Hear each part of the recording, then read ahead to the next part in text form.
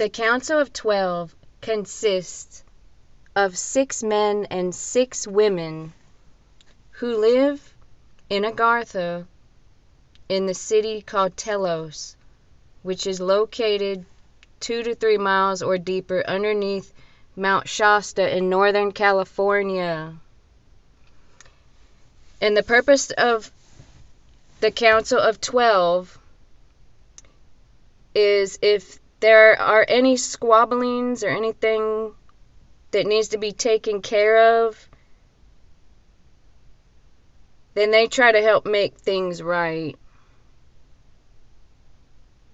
And the reason why it's six men and six women in the Council of Twelve is to show that the men and the women in Agartha are equal.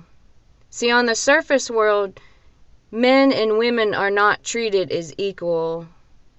They say a lot of times the men get paid more than the women on the surface world.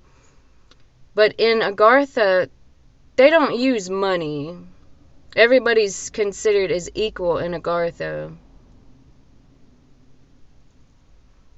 But yes, that would be very cool to meet the Council of Twelve. Maybe one day I can meet him. Thanks for watching this video and you will see me in another video soon. Deuces!